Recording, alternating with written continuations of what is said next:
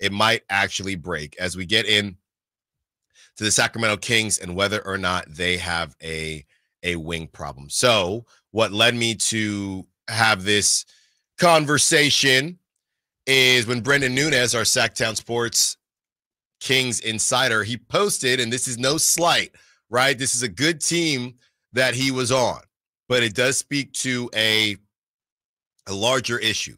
This is Trey Lyles, his stats with Team Canada. Again, Team Canada is a good team. They have Jamal Murray, they have Dillon Brooks, they obviously have Shai Gilgeous-Alexander, they have RJ Barrett. The list goes on and on.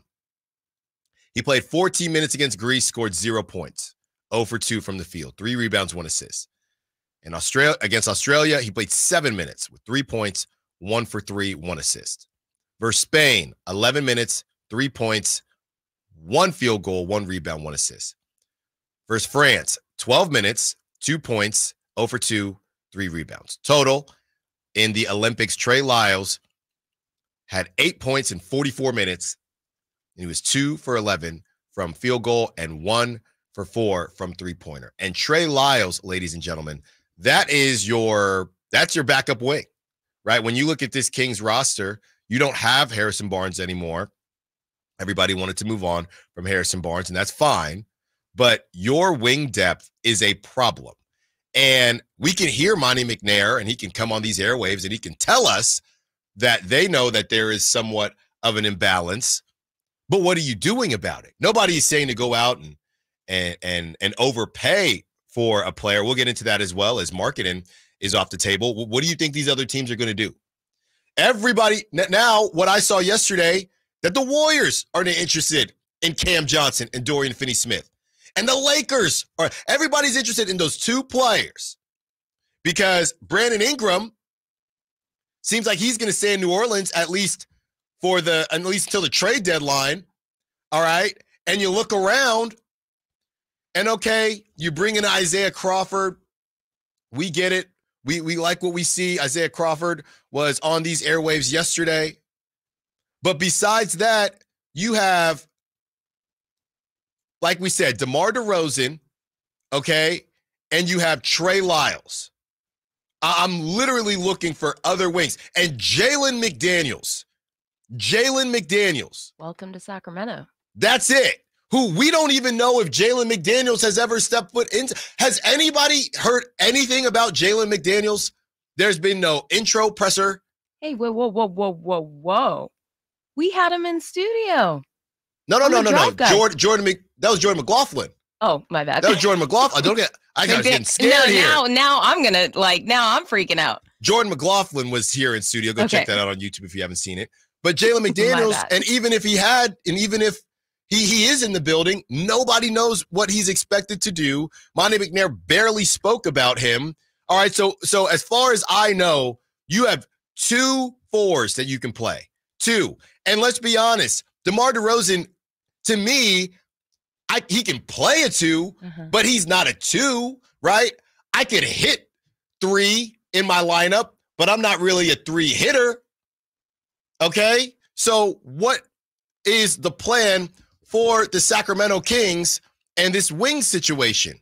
We talked about some of the free agents yesterday, and they can sit here and and tell us that there is a problem and that they're trying to fix it.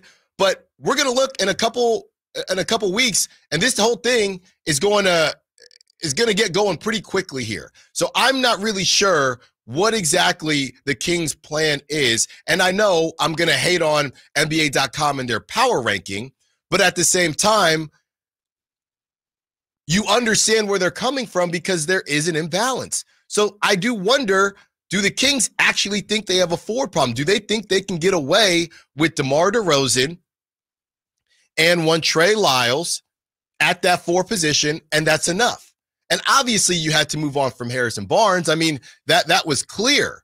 But I don't know how they're going to find somebody else when everybody that has been talked about, whether it's Jerami Grant or whoever, oh, well, that's an overpay. Okay, well, now everyone who is not an overpay, now all of a sudden, everybody's interested in them. The Jazz, who decided to keep Lauri Markkanen, now all of a sudden they're going to turn into buyers. I saw a report that they were interested in Brandon Ingram. So as the market continues to change and you look at what this lineup is, and you had Monte McNair on these airwaves tell Jason Ross that we're that this is the core that we're we're going we're going into to battle with, into training camp with. What do you do? What do you do? Do they actually think that they have a wing problem? I think they do. I think that this is what's going to happen next, and this continues to happen. It, it's just, it's just a round robin situation. Okay, all these teams they're not going to want to budge. All right, I actually don't think that there's going to be another quote unquote big move made because oh, if I'm the Nets, oh, you want Cam Johnson, you want Dorian Finney-Smith. I guess we're back to a, a first rounder, maybe a first rounder and a young talent. All right, so they're going to up the price again. The Kings, the Warriors, the Lakers, all these teams are going to say, actually, we're going to stay away. We don't want to pay that much. And what's going to happen at the trade deadline? The same exact thing. The only hope is that there's some teams, call it the, the Cleveland Cavaliers or whoever you want, who, who's going to have a Jarrett Allen that's available, even though you got to pay him because he just signed that extension. You're going to run into the same issue again. And this is what I talked about towards the end of last week.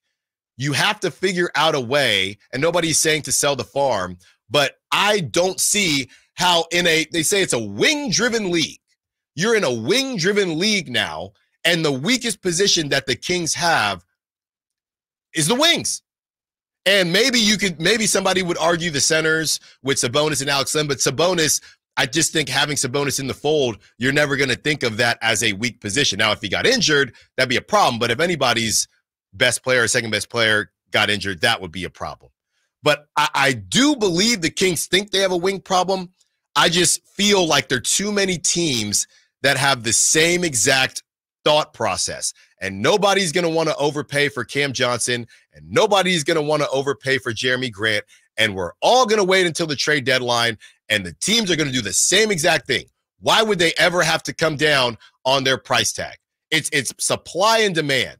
If there is always a demand, why would a team say, you know what? Yeah, just give us two seconds for Cam Johnson and and I don't know, Keon Ellis or somebody like that. Why would they do that when they have other teams? I mean, everybody saw what the Golden State Warriors allegedly were willing to give up for Lauri Markkanen, not Brandin Podziemski, but allegedly what they were willing to give up.